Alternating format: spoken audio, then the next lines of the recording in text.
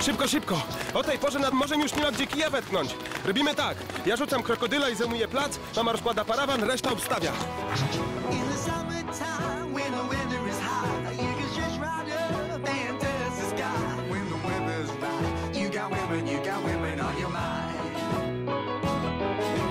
Zaznaj miłej odmiany. Zarezerwuj z Rainbow już dziś rodzinne wakacje na jednej ze słonecznych plaż. Teraz w Rainbow super rabaty.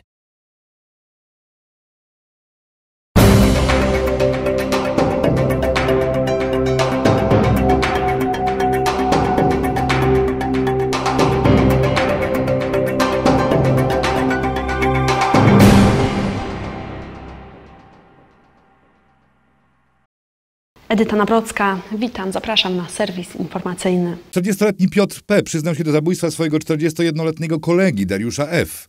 Do morderstwa doszło na działkach w wałbrzyskiej dzielnicy Podzamcze. Mężczyzna usłyszał zarzut zabójstwa, grozi mu nawet dożywocie. Przypomnijmy, że do zabójstwa doszło w Wałbrzychu pod osłoną nocną na ogródkach działkowych na Podzamczu. Na miejscu przeprowadzono oględziny i zabezpieczono materiał dowodowy, który będzie potrzebny do dalszych badań. Zatrzymano także Piotra P., który jest podejrzewany o popełnienie morderstwa. Piotr P. przyznał się do popełnienia zarzuconego mu czynu, e, który e, polegał na e, wyczerpaniu znamion przestępstwa zabójstwa, czyli czynu z artykułu 148 paragraf e, 1 kodeksu karnego i złożył wyjaśnienia, które po części są zgodne z dotychczas ustalonymi, ustalonym stanem faktycznym, a po części będą musiały być weryfikowane w toku dalszych czynności procesowych. Jak wynika z naszych informacji, 40-latek miał zabić kolegę nożem, potem uderzyć go młotkiem, a następnie podpalić.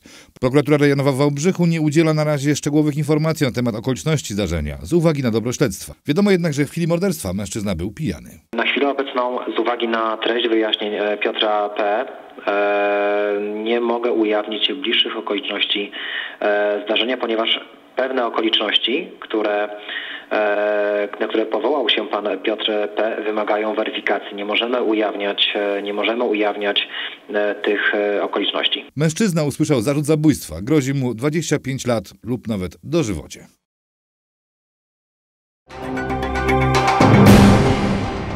Wow Poland to aplikacja umożliwiająca zwiedzanie Zamku Książ bez przewodnika. Jej bezpłatne pobranie jest możliwe w ramach zakupu biletu na zwiedzanie obiektu. Do końca roku każdy z odwiedzających ma okazję przetestować aplikację, więc nie tylko zobaczyć zamek, zwiedzić jego wnętrze, ale również przeżyć prawdziwą historyczną podróż w czasie i przestrzeni, wzbogaconą o zdjęcia, filmy, grafiki i obiekty 3D. Testy aplikacji potrwają do końca roku. Dzięki niej można zwiedzać Zamek Książ e, słuchając przewodnika, a więc jest to usługa dla wszystkich tych, którzy zakupią bilet bez przewodnika na zwiedzanie zamku.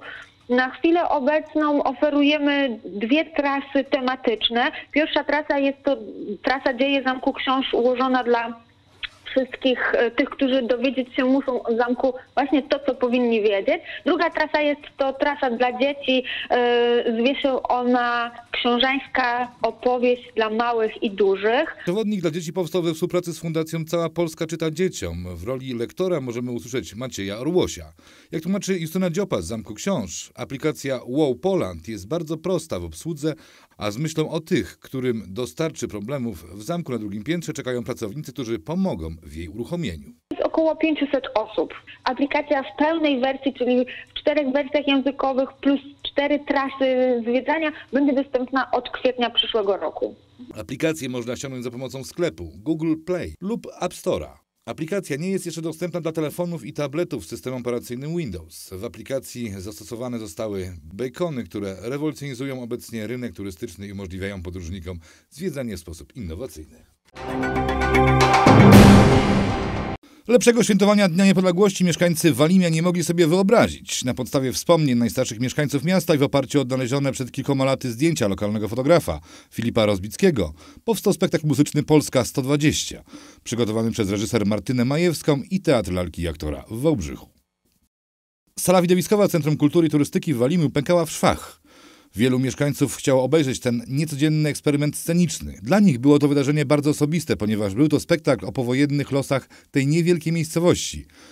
Opowiedziany słowami pierwszych powojennych mieszkańców, a wszystko zaczęło się od niepozornego znaleziska 120 klisz fotograficznych. Zdjęcia zostały znalezione na strychu po pierwszym fotografie, jeden z pierwszych powojennych fotografów w w powojennym Walimy Filipie Rozbickim, który jako fotograf amator utrwalał powojenne ludzkie życie, 120 rolek znalezionych, oczyszczonych i udało się je wywoływać, odnajdywać ludzi. I to zainspirowało Martynę do stworzenia tego spektaklu, z którego jestem ogromnie wzruszony, potężnie. Jak ze zdjęć stworzyliśmy spektakl, y, to była na pewno długa droga. y, Na podstawie wszystkich rozmów y, z ludźmi w Walimiu po prostu napisaliśmy piosenki na podstawie ich wspomnień. Trudnego tematu przekształcenia wspomnień na piosenki, a piosenek na spektakl podjął się zespół Teatru Lalki Aktora w Wałbrzychu. Niemałym wyzwaniem było również zdobycie środków na zrealizowanie tego przedsięwzięcia. Udało się pozyskać dofinansowanie z programu Patriotyzm Jutra, realizowanego przez Muzeum Historii Polski. Co ciekawe, teatrom bardzo rzadko udaje się pozyskać pieniądze z tego właśnie źródła. Współpracowaliśmy przy tym bardzo, e, e, bardzo, bardzo długo, bo to od lipca trwały spotkania, rozmowy z tymi ludźmi ze zdjęć. Martyna e, z Kubą Lechem e, robiła film. Jest w ogóle świetny materiał na to, żeby zrobić z tego film dokumentalny. Jest świetny materiał na to, będziemy się starać, żeby nagrać płytę, będziemy się starać, e, żeby może zrobić z tego teledyski.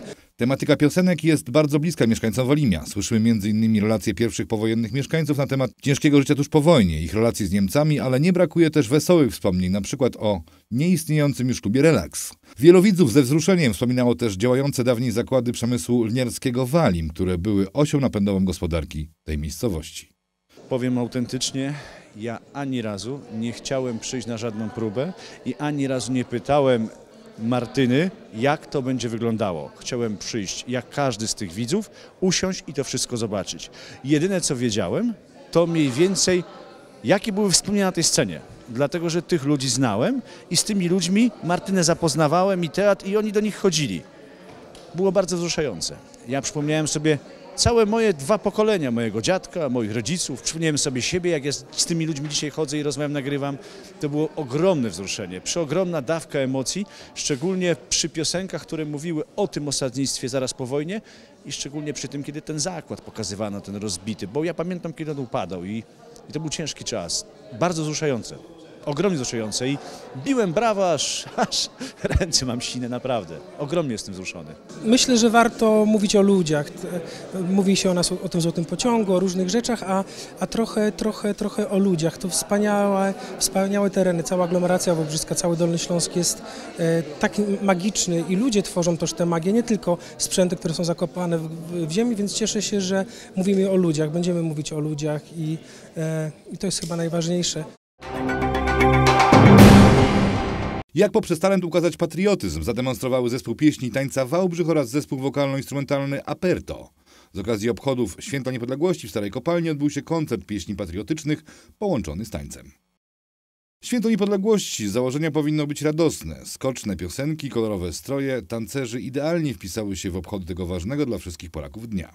Jeżeli ktoś ma talent, to nie wolno go marnować i w różny sposób, właśnie przede wszystkim myślę przez muzykę, można przekazać ludziom wiele takich wartości patriotycznych, szczególnie młodych. Jak młodzi śpiewają o patriotyzmie, to myślę, że to porusza serca. Zespół wokalno-instrumentalny Aperto powstał 10 lat temu. Jak mówi grająca w zespole Paulina Wójcik, po prostu z chęci śpiewania.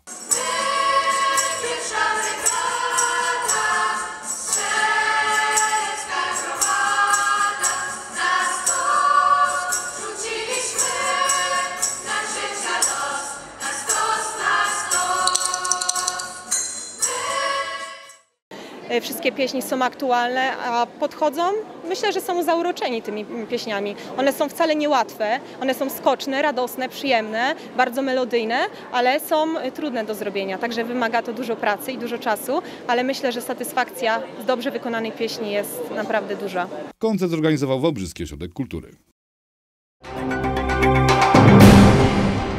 Budowa placu zabaw na Nowym Mieście przedłuża się. Projekt, który wygrał w budżecie partycypacyjnym, wciąż czeka na swoją kolej. Mieszkańcy pytają, może ktoś wreszcie wyjaśni, co dzieje się z wygranym projektem na Nowym Mieście z 2015 roku. Do tej pory nie powstał plac zabaw w okolicy Placu Górnika. Już jest następna edycja, czyli mam iść głosować, jeśli nie zrealizowano poprzedniego projektu? Na co przeznaczono w takim razie pieniądze? Rzecznik prezydenta Wałbrzycha Arkadiusz Grudzień odpowiada. Jest, y, jest to jeden z projektów, który jest y, obarczony pewnego rodzaju e, trudnościami. E, Wynika to z tego, że pierwotnie pomysłodawcy e, wskazywali działkę, na której chcieliby zlokalizować swój projekt. Potem nastąpiła zmiana i była prośba, aby zlokalizować ten plac zabaw na terenie tak zwanego ekoogrodu. Jesteśmy w trakcie ustaleń, bo tak naprawdę zaproponowaliśmy inną lokalizację tuż obok, e, która nie byłaby tak trudna. Problemy wynikają głównie z powodu niekorzystnego zlokalizowania placu. Jego powstanie kolidowałoby z istniejącą w tym miejscu infrastrukturą. Ze względu na to, że sam ekoogród jest e, taką działką, na której są różne e, poziomy, trzeba by było tę działkę niwelować, trzeba by było również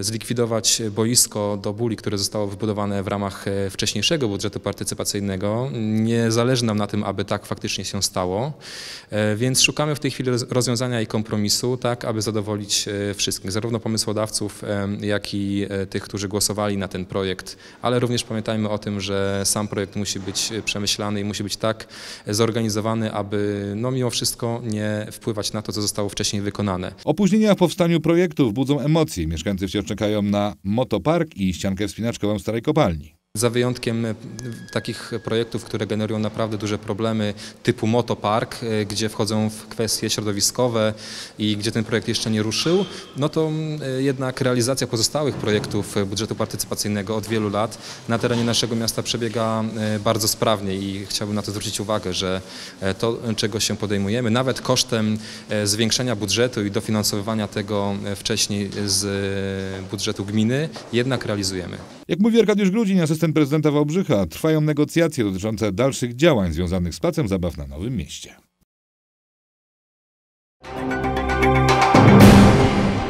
Najmłodsi Wałbrzyszanie pamiętają o historii. Z okazji zbliżającego się Święta Niepodległości odbył się konkurs pieśni patriotycznych pod tytułem Niepodległość okiem młodego człowieka.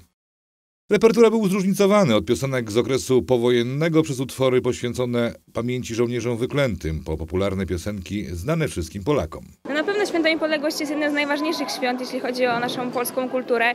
E, Organizując taki konkurs, chcieliśmy młodym ludziom przybliżyć trochę tej historii, jeszcze więcej niż mają w szkołach, ale również pokazać, że e, pieśni patriotyczne były bardzo ważne i jakby od tamtego czasu są do dzisiaj i możemy bardzo e, na różny sposób są tutaj przedstawiane. Soliści i zespoły bardzo fajnie nam to przedstawiają. E, Również e, w różnych strojach e, mają swoje dekoracje, swoje e, różne przebrania, które e, jakby jeszcze bardziej podkreślają to, że jednak jest to święto narodowe, jest jedno e, z ważniejszych świąt.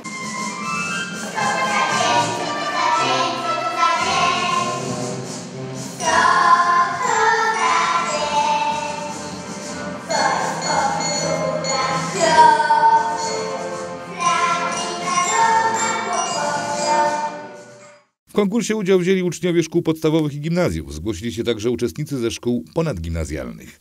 Zaobserwować można było duży przekrój wiekowy od maluchów do pełnoletnich. Y, Celem y, tej imprezy dzisiejszej jest pokazanie, że tak naprawdę patriotą może być każdy. Młodzież y, występująca w konkursie pokazuje nam przez swój talent jakiś swój sposób na pokazanie swojego patriotyzmu. Przypominanie e, ludzi, którzy dla tak, walczyli dla nas. Wszystkie, były, wszystkie były fajne, ale takie najbardziej to...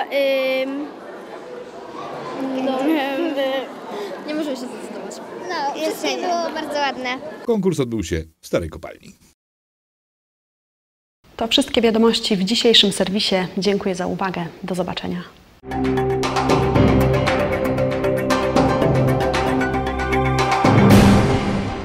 Prezenterkę uczesał salon fryzjerski René, Wałbrzych, Piłsudskiego 50. Nasze serwisy informacyjne i program Gość Dnia również w internecie. www.tvwałbrzych.pl Więcej informacji znajdziesz też na portalu wałbrzych24.com